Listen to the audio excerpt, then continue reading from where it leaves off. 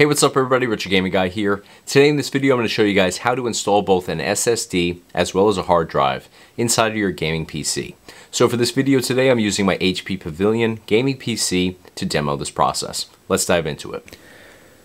Alright, so here I have my HP Pavilion gaming PC. So I'm going to turn this over to the side here, and this is the side panel that we're going to actually remove to access everything within. So your gaming PC typically will always have one side that is removable so you can access everything inside. So in this case, if we turn this over, there's just one screw that actually holds this panel in, and it's located right here. Typically on gaming PCs, you're going to have one or two screws that just hold that side panel in. So for me, it's a um, star bit here, and I believe it's a T, let me see what it is here. Um, T15H is what this one says. And if you're interested in picking up a whole kit of these, it has every single size um, screwdriver head known to man in the kit. I'll put a link in the description of this video because it really is a great kit um, at a really great price point too. So I actually have two of those. Um, so just simply unscrew this. You don't even have to take the screw out all the way, at least on my HP Pavilion Gaming PC. Um, and it's got this little indent right here where you can put your fingers in and just pop this panel towards you. So I'm going to do exactly that. Just pop it towards me. And now you can see it comes right out like that. And it's got a little track system there, so you do have to match that up when you go to put it back. But we'll turn this over so you can see inside. So you can see literally everything that this PC has to offer here. I actually have Windows 11 installed within here. That's how it came stock. But we have this cage right here that I am actually going to use to install a hard drive and SSD with you guys here on camera. I always use this because it's really easy to remove everything and swap out SD, SSDs or um, hard drives. And I jump between a bunch of different setups all the time with Batocera. So I'm constantly in here taking everything out and swapping everything. So I'm going to show you guys how to install an SSD, but I'm also going to show you guys how to install a hard drive as well. So first thing we're going to do, you're going to see up here there is a screw that keeps this cage secured. So it's the exact same size as what we used before. Everything within here is going to be the exact same size to keep everything simple. So that secures it in place. And then there's just some little tabs here and that slides all the way down. You can also fully remove it. Down at the bottom, there's three different teeth down here. They just go into uh, the three slots that are on the frame. So they just kind of sit in place like this. Hard to do one-handed and then it acts as a hinge. So you can install your hard drive or SSD right on there. So we're going to start off with the SSD. So this actually came with all these cables. You may need to pick up some SATA cables to install um, your hard drive or SSD within your gaming PC. Um, this is a SATA 3 right here. So on your SSD, there's only two ways to connect so the larger one's going to go where the larger one goes, and the smaller one's going to go right beside it. Really foolproof there. No other way to possibly connect this. Um, and this is just another extension here. So I'm going with the closest one to my computer board there. And that's all we have to do. That's the only connection we need to make for an SSD. So we're just going to put the cage up like that. And you're just going to line up your screw holes with the holes on the cage. So let me grab a couple screws.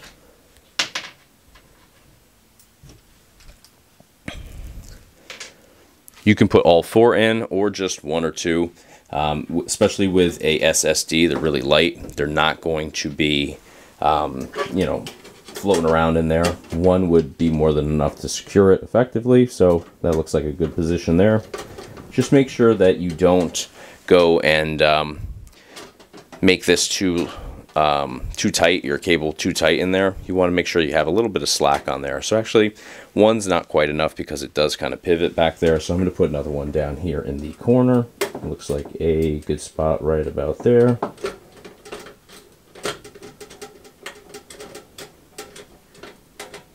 And you can see that's securing it. I didn't square it off perfectly, but certainly keeping it secure back there. And then we just have that one screw up at the top to keep the cage intact. just like that. So we've got our SSD installed in here. We've secured the cage back to the frame and we are ready now to just put our side panel back on. So that it's literally that simple to put the side panel back on. Every gaming PC is going to be a little bit different, but typically you want to kind of rock your PC back a little bit just to line it up on the track and then just push it forward. All we have to do now is secure this screw right here, which I can even do with my fingers here, um, and that'll lock it in place. If you find that you're wrestling with this, just take your time, go back and make sure you're lining up properly in the track. If you have to wrestle with it, it's something's not right. You're not lined up correctly because you can see just how smoothly these go back together as long as you've aligned everything. And usually the issue is down here. There's a track underneath, so I typically will do that end and then go up to the top from there. So that is the SSD. I'm going to open this back up though And I'm going to show you guys how to do the same thing with a hard drive, which obviously is a little bit bigger. So we're going to take this cage back off, lower it down. I'm to disconnect those before I lower it all the way down. And I can just take this off, take those two screws out. Same thing here. Take that last one out. SSD, remove that. So now we're going to put this big hard drive on here. And this is going to take up much more space and my cage is actually a little bit small on this PC. So it's going to hang over a little bit. No harm there though. So I'm going to, I'll actually, you can see where I've installed this in the past. This is my usual hard drive. I've actually taken the paint off of that one so I know exactly where I want it. So I'll just line it up there like that. These have magnetic tip, makes everything so much easier having that magnetic. You don't have to fumble with it. So I'm just going to secure that there, and then I have another hole that lines up perfectly right here. And again, you can place it anywhere you want on that screen, or that cage rather. So next screw is going to go right there. Two is enough, doesn't move at all, no play in this whatsoever. So I'm just going to put those three teeth at the bottom into the frame.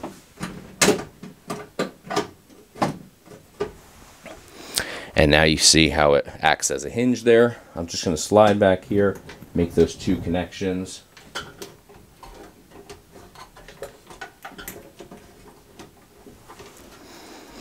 And now we'll just secure the cage back to the frame.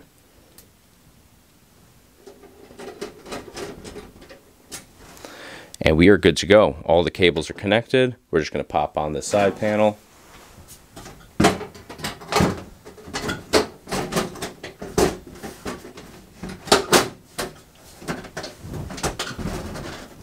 Slide it forward like that.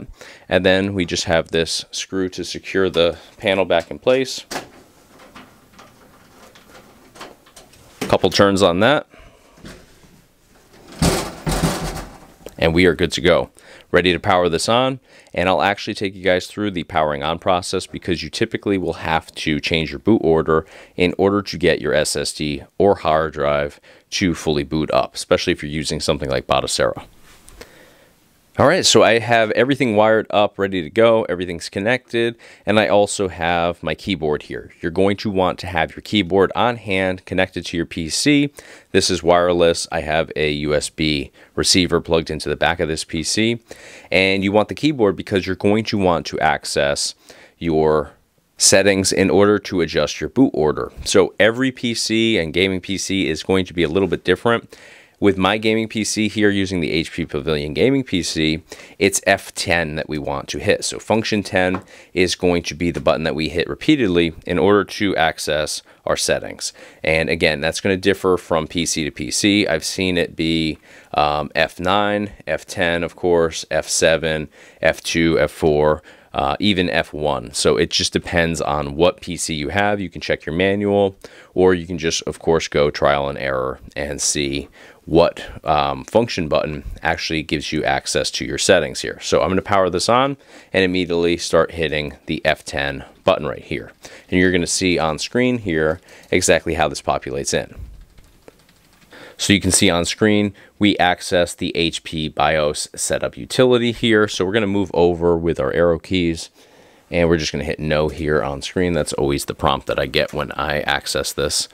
So we're going to navigate across the top there. You can see we're by default going to land on main. So just with the arrow keys, we're going to go over to boot options. And this may look different depending again on what gaming PC or regular PC you're using. But for the HP Pavilion gaming PC, this is exactly what I see. So once we're highlighting boot options, we're going to drop down to OS Boot Manager. We're going to select this with enter on our keyboard and you can see the list of connected options. So we have Windows Boot Manager. That's going to be my built-in Windows 11 hard drive that is within this PC. Comes stock on here. And then you can see the UEFI OS right below that. That is the hard drive that I just installed with you guys here. And that is the full hard drive, not the SSD. That's what we ended up doing second. That's what I have in there currently. So in order to set your boot order here, your top option is going to be what your PC boots to automatically. So currently, if I didn't access this and I just powered on this PC, I would be going into Windows 11 because that is the hard drive that is listed first. So all I'm going to do is I'm going to hit F5 and that's going to lower that top option down. So now you can see the top option is the UEFI OS. And again, that is the hard drive running Batocera that I just installed with you guys. So all we have to do now is press F10. That's going to save this boot order. And now we're going to navigate over to exit across the top with our arrow keys to the right. We're going to hit enter and this is going to save the changes and exit us out. You can see here it says save changes and exit. We're just going to confirm that by hitting enter and that's going to confirm yes, that that is in fact exactly what we want to do. So now our entire computer is going to reboot, but since we changed that boot order, it's going to automatically boot us into Batocera, which is what is installed on that hard drive that we just installed into this gaming PC.